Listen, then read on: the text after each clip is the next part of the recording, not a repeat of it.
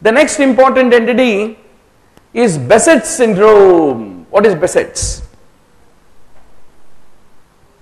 I will tell you a typical patient of a Behcet. A 48 year old accounts manager of a top multinational company. He has presented with severe pains in the joints, arthritis. He was having oral ulcers and genital ulcer.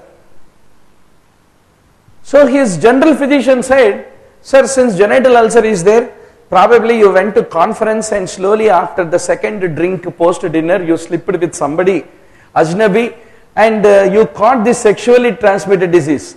He said, No, no, sir, I never did that. I have only one job, one vision, one wife, one bed, one orgasm. So there is nothing else I can be able to imagine, sir. Please spare me. No, no, no, no. You go to get your VDRL done. Okay, he went sincerely. Next day, gave the blood without telling the wife where he is going. VDRL was negative. He's very happy. Maybe you may be having HIV, said the primary physician. Sir, I am not having HIV, sir. Then why these genital ulcerations and uh, oral ulcerations? There must be some second show uh, ke baad kuch hua on that rainy night. Go and get a HIV ELISA. ELISA was also negative. Then the treating physician didn't understand what is the diagnosis. Why all ulcerations are there? His uh, STD wise very clean. Then you are the physician in charge. So how does Behcet's present? It is an autoimmune multi-system vasculitic disease with recurrent orogenital ulceration. This is the oral ulcerations on the tongue.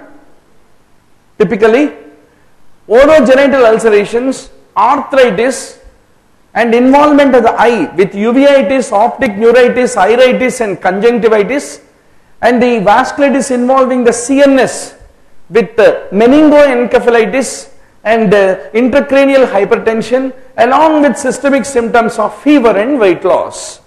So tomorrow's exam you forget everything in vasculitis. What is one symptom definitely will be there in every vasculitis? Fever and weight loss will definitely be there. What is the common differential diagnosis? Tuberculosis is the common differential diagnosis. So recurrent genito orogenital ulcerations with arthritis with multiple systemic involvement with an underlying constitutional symptoms is a case of Behcet's. What I told you was in fact a true story of uh, a bank manager being uh, harassed by multiple physician with multiple STD tests where he was all negative. Now doctor, how do you make the diagnosis? Take one small biopsy of that area which is involved with ulceration. Then you can be able to demonstrate the presence of the vasculitis by which diagnosis is done.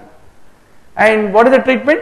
Steroids. You give steroids, oral, genital, all ulcerations are gone. That is considered to be the treatment of choice.